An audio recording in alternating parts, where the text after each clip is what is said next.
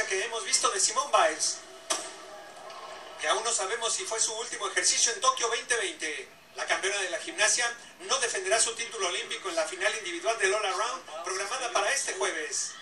Después de someterse a una evaluación, Biles decidió no participar en la prueba para concentrarse en su salud mental y será evaluada diariamente para determinar si participa o no en las finales de la próxima semana.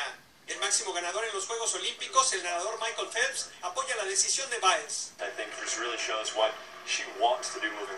Ella tiene fans en todo el mundo que la admiran. Entonces, esta presión la puede llevando inclusive a acorralarla al miedo a fallarle al mundo completo.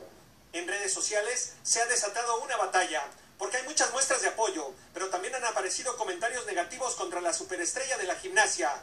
El polémico presentador británico Piers Morgan afirma que la decisión de la gimnasta no fue heroica ni valiente. Por el contrario, le dice que defraudó a sus compañeras, a sus seguidores y a su país.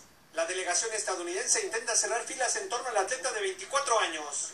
La medallista Katie Ledecky dice que el equipo de natación está con ella. También los varones en el equipo de gimnasia. Y por supuesto, las chicas que han vivido en primera fila esta experiencia con ella.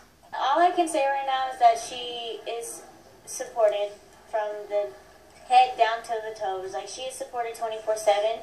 Simone Biles está clasificada para las finales de otras cuatro pruebas individuales y en las próximas horas decidirá si participa o no.